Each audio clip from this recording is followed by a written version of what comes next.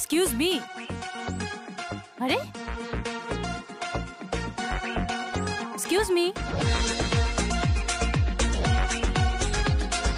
Excuse মি এইটো bus stoppage নহয় য'ত আপুনি হেডফোন লগাই গান শুনি বাছৰ কাৰণে ৱেইট কৰি থাকিব।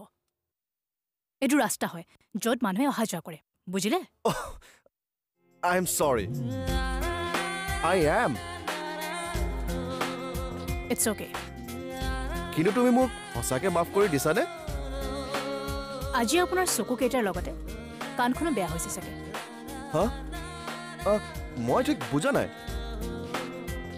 আপোনাক বুজাই থাকিবলৈ মোৰ সময়ো নাই। চাই দিয়ক।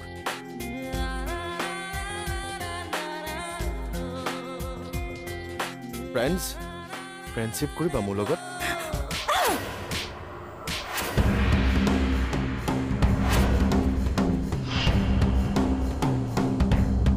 পালি ফ্ৰেণ্ডশ্বিপ আনিছ নেক্সট টাইমৰ পৰা মোৰ সন্মুখত থিয় হ'বলৈ সাহস নকৰিবি ষ্টুপিড